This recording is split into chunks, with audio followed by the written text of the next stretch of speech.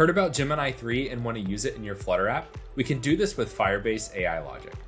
The first step is to make sure you have both a Firebase project with Firebase AI Logic enabled inside the Firebase console and the Flutterfire CLI installed locally.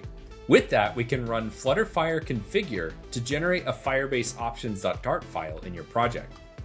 The next step is to install the Firebase SDKs, which you can do by running flutter pub add Firebase core Firebase AI.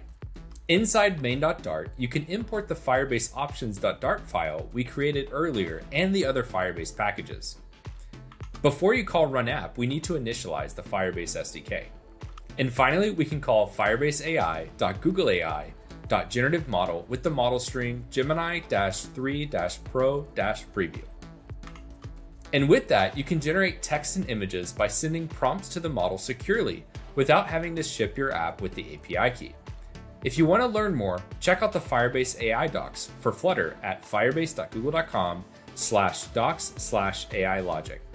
You can also try out the sample app today at g.co slash firebase slash flutter dash AI dash playground.